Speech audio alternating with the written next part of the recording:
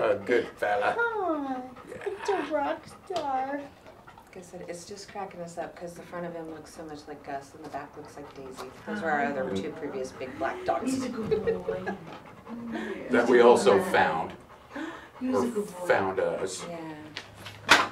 Well, you know, and they've got such a keen sense of smell, he knows upstairs. Yes. Well, and Oh, that's yeah. what I, that's why I said he probably was out looking for. To go for. look for. He- Yeah, he was snuffling, just, uh, the closer we got to downtown, he was like sticking his nose out the window, it's Sit, like, sit. I know this place. Relax, relax, relax.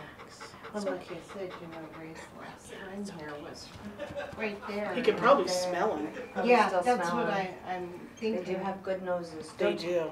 Look at you, beautiful boy. He's looking. Who's there? Where's my dude? You're all right, buddy. Rocky! What are you doing? You're sitting by the door, huh? Yeah. You're not going outside though. Well, you're Can going you back with us if you don't Can mind. sit? You don't mind. Aw.